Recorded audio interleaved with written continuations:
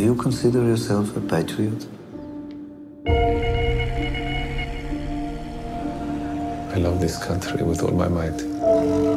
Welcome to Syria. If your country needed you to lie to your friends, your family, your wife, would you do it? I will be a buyer working for the government. If your country asked you to risk your life, would you do it? This is the opportunity for me to give you the life that I promised you, Daddy. My name. My name is Kamel Amin Thabit. The Sheikh is your only way in. Please join me. You've made a nice life yourself here in Damascus. When you walk into your room, everyone wants a piece of you. Come in. Enjoy.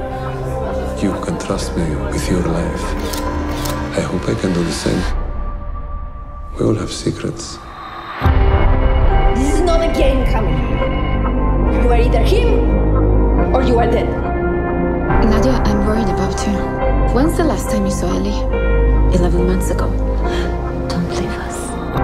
I don't want to go back. You are saving lives, Eli.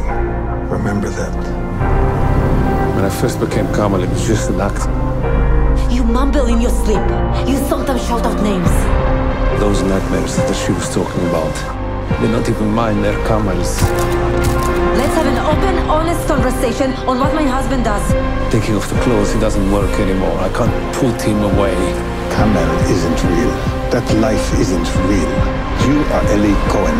You need to remember that. It's a bit late for that you